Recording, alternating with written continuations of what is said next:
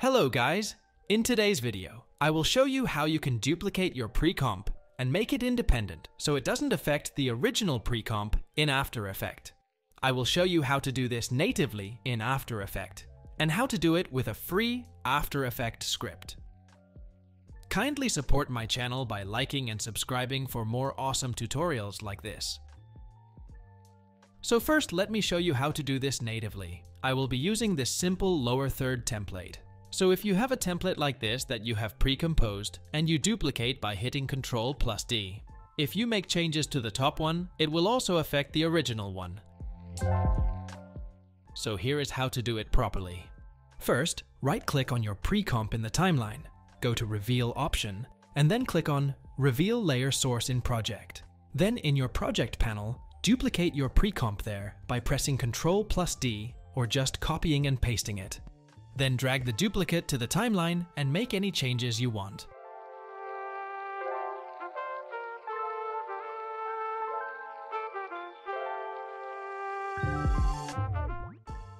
You can now duplicate the original as much as you want and edit them independently.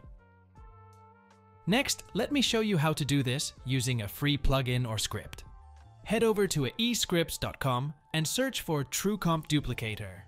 It is free, so all you need to do is type 0 in the price box and add it to your cart. If you can afford to, please support the creators by adding an amount you can afford.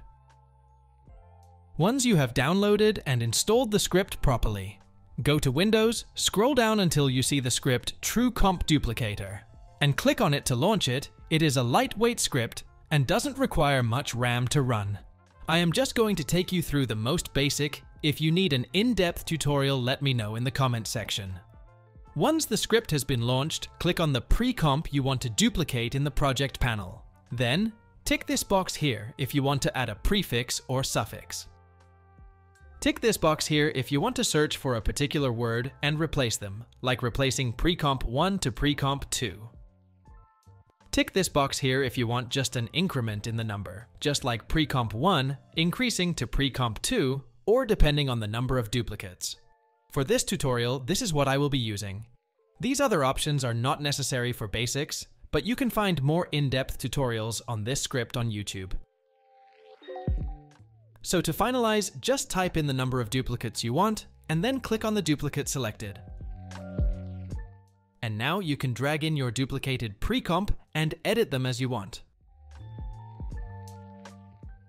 Please like and subscribe for more.